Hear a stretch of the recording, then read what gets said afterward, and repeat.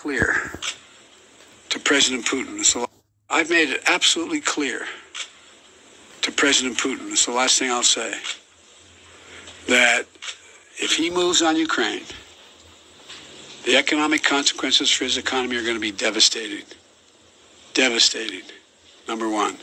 Number two, we will find it required that we'll have to send more American and NATO troops into the eastern flank, the B9, all those NATO countries where we have a sacred obligation to defend them against any attack by Russia.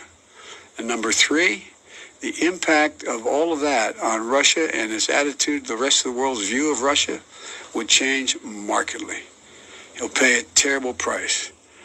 And uh, so it's, uh, and we are going to continue to provide for, and we have and continue to provide for, the defense capacities for the Ukrainian people. Thank you so much.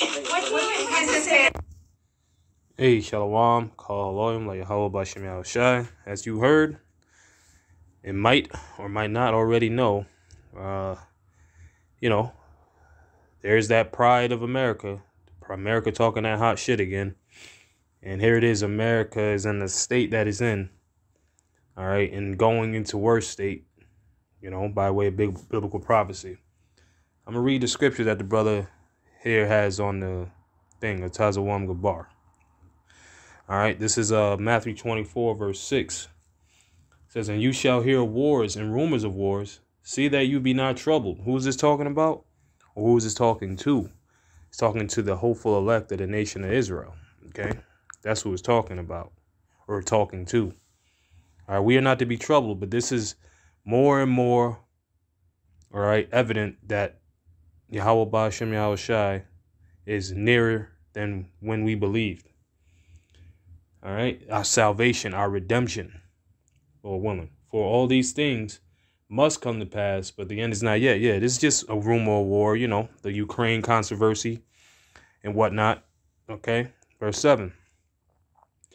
For nation shall rise against nation, and kingdom against kingdom, and there shall be famines and pestilences and earthquakes in divers places. All these are the beginning of sorrows.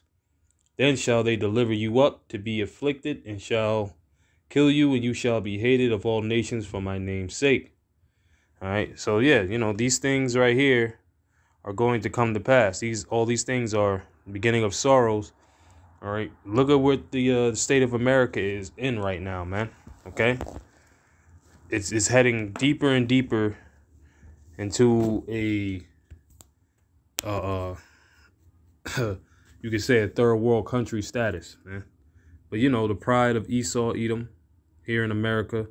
Hey man, these these these uh these nuclear missiles, man, whew, are closer than ever.